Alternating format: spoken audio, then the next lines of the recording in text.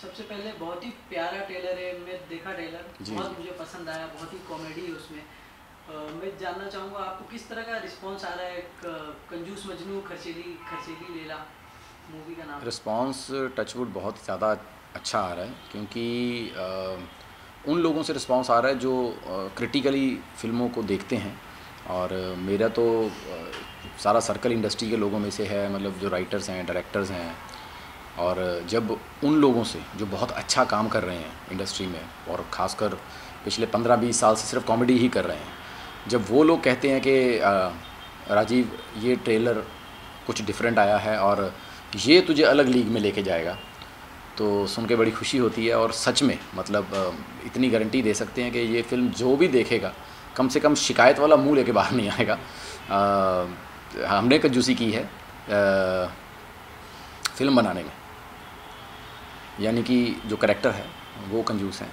लेकिन एंटरटेनमेंट में जो हमारे राइटर हैं डायरेक्टर हैं, उन्होंने कोई भी कंजूसी नहीं की है। वो भर भर के है और फ़िल्म की सबसे खासियत है जो इसका एंड में एक मैसेज है, जो हमने छिपा के रखा ट्रेलर में, वो जब सामने आता है कि ये कंजूसी क्यों करता है, मुझे लगता है कि अगर समाज उसका दस परसेंट भी अपने हिस्से में ले गया तो ये सोसाइटी में चेंज ला सकता है।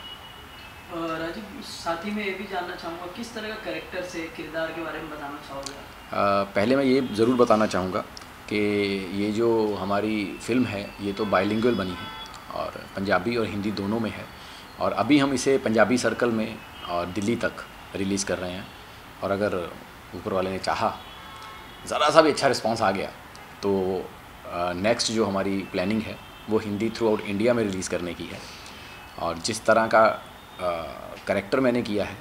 अ, आप देखेंगे कि मैं मतलब अगर पंजाबी इंडस्ट्री को कहना चाहूँ तो ये कहना चाहूँगा मतलब जो बॉलीवुड है वहाँ तो ये चल रहा है कि छोटे शहरों की फ़िल्में एक पारिवारिक फ़िल्में जिसमें रोम कॉम फैमिली एंटरटेनमेंट का नाम दिया जाता है ये उसी जोन में है फ़िल्म।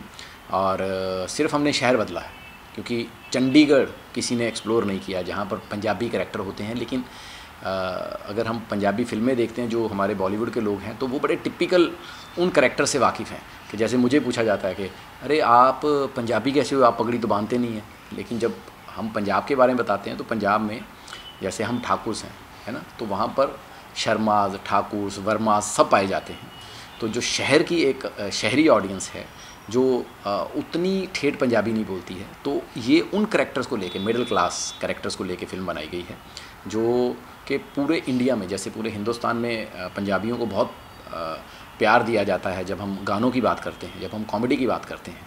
लेकिन ये फ़िल्म देखने के बाद उन पंजाबी करेक्टर से प्यार हो जाएगा जो घर घर में पाए जाते हैं वहाँ पर। साथ ही में ये जानना चाहूँगा जब आपको मूवी का ऑफ़र आता है जी। कंजूस मजनू खर्चीली लेला तो क्या रिएक्शन रहता है? में इतना कहना चाहूँगा कि मतलब ये इतनी अच्छी फ़िल्म है हमारे जो राइटर लड़का है बहुत यंग है अमन सिद्धू करके लड़के का नाम है और डायरेक्टर है अवतार भाई अवतार सिंह जी जिन्होंने इस फ़िल्म को रचा है दोनों ने। और जब मुझे पहली बार नरेशन के लिए चंडीगढ़ बुलाया गया था तो मैं जाके जो थोड़े बहुत चेंजेस थे एक आधे करेक्टर में वो किए उसके बाद मैंने कहा बाकी हम सेट पे देखेंगे। राजीव साथ में ये जानना चाहूँगा कि मूवी का स्टोरी किस तरह का स्टोरी है बताना चाहोगे? हाँ हाँ स्टोरी बिल्कुल ये रोम कॉम फैमिली एंटरटेनमेंट है। जैसा कि मैं बड़ा क्लियरली बताना चाहूँगा कि ये फ़िल्म में अगर हम देखेंगे कि जो एक हर परिवार की समस्या चल रही है लाइफ में मतलब मैं अगर ये फ़िल्म देखोगे आप तो आपको इसके करेक्टर अपने फैमिली में दिख जाएँगे। क्योंकि मैंने तो अक्सर देखा है कि हमारे पापा मम्मी को बोलते रहते थे, तू बहुत खर्चीली है यार, रोज़ पैसे मांगती रहती है, पता नहीं कहाँ खर्चे करते हो इतने यार, कौन सी सब्ज़ी इतनी महँगी हो गई यार? तो उनको परिवार में अगर आप देखोगे, आपके परिवार में आपकी चाची, बुआ, बहन, फूफी, कोई ना कोई ऐसा रिश्तेदार निकलेगा और यहाँ आपके मतलब यहाँ फूफा निकलेंगे या मासड़ निकलेंगे, चाचा निकलेंगे, पापा निकलेंगे, जो अक्सर ये बात करते हैं कि यार ये औरतें बहुत खर्चीली होती हैं। तो ये घर घर की कहानी है और ये जो परिवार है, ये परिवार कोई गरीब परिवार नहीं है। एक अच्छा मिडिल क्लास फैमिली का परिवार है जिनका अच्छा काम धंधा है, लेकिन कंजूस क्यों है? पिछले पचास साल से, यानी कि ये तीन पीढ़ियों की कहानी चल रही है। इसकी दादी उसी परेशानी से जूझ रही है। उसके माँ उसी परेशानी से जूझ रही है और अब जो इसकी बहू आई है, उसको इस परेशानी से ना जूझना पड़े। इसलिए दादी सुहागरात पे बता देती है कि, बेटा, तू गलत घर में आ गई है। तू नोट कर ले, अगर आपने ट्रेलर देखा होगा कि नोट कर ले, तूने लास्ट टाइम पनीर कब खाया था। उस डेट को नोट कर ले, यादगार ही रहेगी। यानी कि इनके घर में पनीर नाम की चीज़ है ही नहीं। पनीर खाना तो कागज़ पर लिख के मिल सकता है, लेकिन सब्ज़ी में नहीं मिल सकता।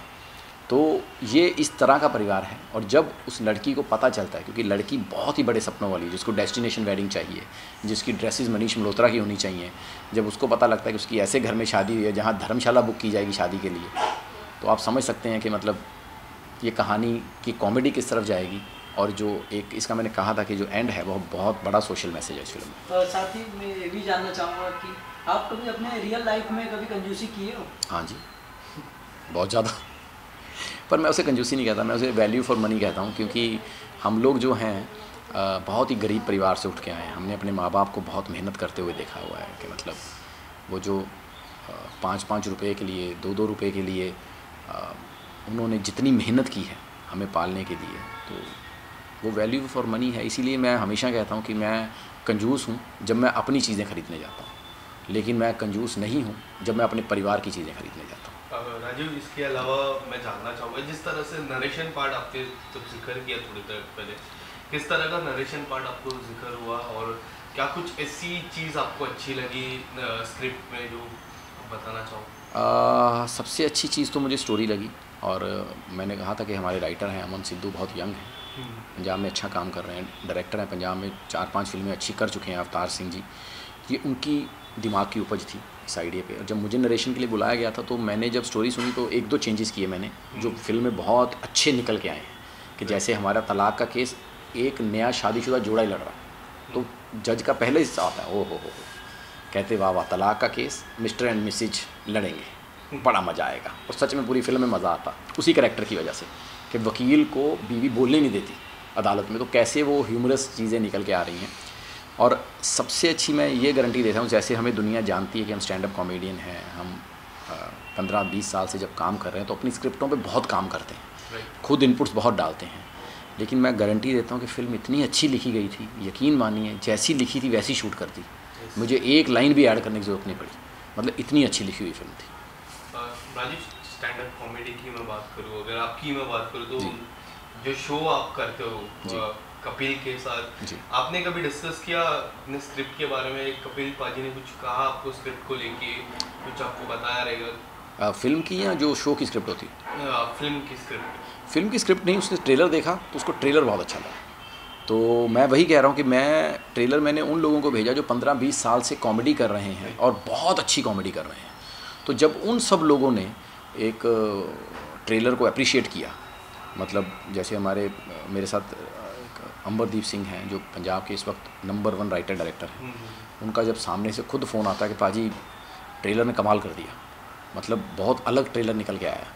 तो फिर मुझे यकीन हो गया कि जब उन लोगों को ट्रेलर पसंद आ रहा है कि जिन्होंने कॉमेडी में बहुत नाम किया है और बहुत काम किया है बहुत रुतबे से काम किया है तो मुझे यकीन हो गया कि ये फ़िल्म अच्छा काम करे। और फ़िल्म मुझे पता कि अच्छी ही है। आ, जो भी फ़िल्म देख के आएगा ये मैं हंड्रेड परसेंट कहता हूँ कि बिना शिकायत के आएगा। और इसका वर्ड ऑफ़ माउथ बहुत अच्छा जाने वाला। कोई ऐसी चीज़ अगर आप बताना चाहोगे जो हम फ़िल्म से सीखने मिलेगी? मैं वही कह रहा हूँ वो जो है वो जो एक मैसेज है जो लास्ट में जो लास्ट में है उसके लिए फ़िल्म देखनी पड़ेगी। और मैसेज सच में बिलीव मी कि वो अ, समाज को सुधारने वाला मैसेज है। और जब आपको पता चलेगा कि जिस जो हीरोइन पूरी फ़िल्म में हीरो से इसलिए नफ़रत करती है कि ये कंजूसी क्यों करता है जब उसका ओरिजिनल रियल रीज़न पता चलेगा कि ये परिवार क्यों कंजूसी करता है। आपको पूरे परिवार से मोहब्बत हो जाएगी। टाइटल पहले से डिसाइड हुआ कि शूट के वक्त डिसाइड या फिर आफ्टर दैट नहीं टाइटल इसका पहले रखा गया था कंजूस मक्खी चूस। ओके लेकिन वो टाइटल शायद किसी और के साथ रजिस्टर था तो फिर हमने ये टाइटल रखा कंजूस मजनू खर्चीली लैला और मुझे लगता है ये ज़्यादा अच्छा निकल गया है। क्योंकि जहाँ भी इंटरव्यूज़ हो रही हैं जहाँ भी मतलब जो हम रेडियो पे इंटरव्यूज़ दे रहे हैं सब कर रहे हैं तो सबको टाइटल में बड़ा मज़ा आ रहा है कि यार टाइटल बड़ा अलग और यूनिक सा है। जी। और लैला मजनू तो एक ऐसी लव स्टोरी देखने मिलती है। क्या हम कॉमेडी के साथ लव स्टोरी भी देखने मिलती हाँ है हाँ। लैला मजनू की? हंड्रेड परसेंट लव स्टोरी है। मैं वही कह रहा हूँ कि ये तीन पीढ़ियों की कहानी है। ओके कि एक दादी है एक माँ है और एक मेरी हीरोइन है। तो इन तीनों की कहानी है। तो मेरी कहानी में लव स्टोरी है ओरिजिनल यस जो आ, मैंने कहा कि रोम कॉम रोमांटिक कॉमेडी। मैं एक सीन बताता हूँ बहुत अच्छा सीन बन पड़ा था फ़िल्म में। कि मतलब ये इतना कंजूस आदमी है कि पहली डेट पे जब लड़की को लेने जाता है तो शॉट खुलता है तो पार्क में दरी बिछी हुई है और आगे घर का टिफ़िन खोला हुआ है। तो हीरोइन देख के उसको ऐसे ही देखती है। और ये खाएँगे।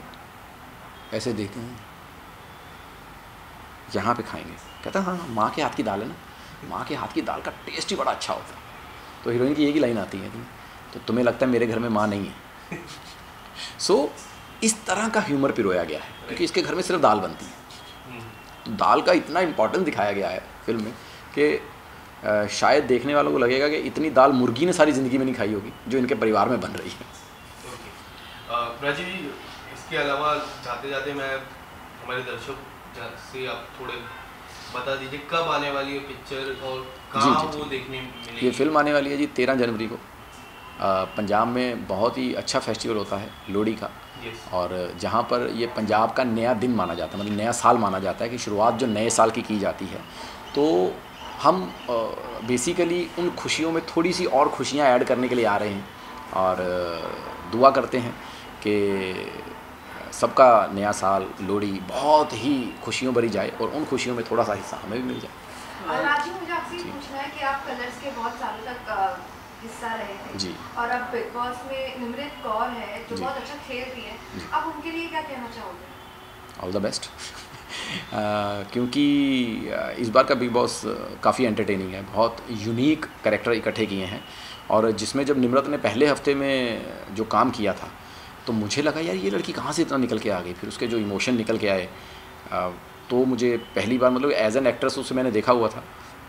मुझे बहुत अच्छे लगती थी एज एन एक्ट्रेस लेकिन जब वो, उसका बीच में वो डिप्रेशन वाला फ़ेज़ बिग बॉस में देखने को मिला तो मुझे लगा कि नहीं, है ये पंजाब की शेरनी बहुत बहादुर लड़की है और जिस बहादुरी से वो बिग बॉस खेल रही है, बहुत यूनिक और बहुत अच्छा खेल रही है, अगर आप सब करेक्टर्स में देखेंगे so all the best Nimrit.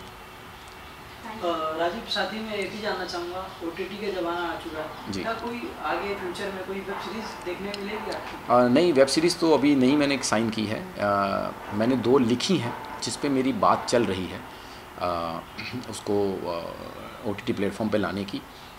लेकिन एक फ़िल्म और हमने कर रखी है जो बहुत जल्दी ओ टी पे देखेगी आपको जिसमें मुझे तो लोग शायद पहचान भी ना पाए। मतलब अनएक्सपेक्टेडली एक अलग राजीव दिखेगा आपको as a serial killer so वो फ़िल्म देखने वाली है क्योंकि उसमें सब ओटीटी के, मुझे जब काम करने का उनमें मौका मिला तो विनय पाठक सर के सामने खड़े होना as an actor Anupriya Goenka, Vikram Kochar, इन चार लोगों की कहानी और जब तीन ऐसे धुरंधर कलाकार आपके सामने हों उस वर्ल्ड के तो बहुत देखने को मिलेगा। वो फ़िल्म है हमारी जिसका हमने नाम रखा है मक्कारियाँ। सो so, वो बहुत ही मतलब साइकोपैथ थ्रिलर है और बहुत ही मतलब इंटरेस्टिंग कहानी है उस फ़िल्म की भी। तो वो भी बड़ी जल्दी आपको देखने की मिलेगी। और मैं एक चीज़ और थैंक्स कहना चाहूँगा कि मैंने बीच में तीन चार साल फ़िल्मों में ही काम करने के लिए टीवी से थोड़ा सा मैं बड़ा लिमिटेड काम कर रहा था कि एक अलग अगर टीवी से कि जो हमारी पहचान बनी है एज ए कॉमेडियन तो उसको तोड़ने के लिए होता ना कि थोड़ा गैप हो और नए बन के आओ। तो ये फ़िल्मों में मैं नया बन के आया था, लेकिन उसके बावजूद जब अभी कपिल को शो दोबारा ज्वाइन किया so I am really thankful to the audience जिन्होंने उस करेक्टर को वापस उतना ही प्यार दिया और जिस प्यार से, मोहब्बत से उस करेक्टर को मतलब जहाँ भी आज जाता हूँ तो लोग मतलब मुझे नहीं पता मतलब ये तो जानता हूँ कि कपिल का शो इतना बड़ा है कि मतलब मैंने अगर उसके ज़िंदगी में मुश्किल से तीस पैंतीस एपिसोड किए होंगे पूरे जो भी उसके सीज़न चले हैं। तो लोगों को मेरा पिछला पाँच साल का काम याद नहीं होगा जो हमने 2007 से लेकर 2014 तक किया था। कपिल शर्मा याद हो जाता। तो जब अभी किया तो जहाँ भी जाता हूँ ओए राजू तो जो नया नाम मिल रहा है आ, वो बहुत अच्छा लग रहा है। सो टीवी का वापस प्यार देने के लिए बहुत बहुत शुक्रिया। Thank you sir thank you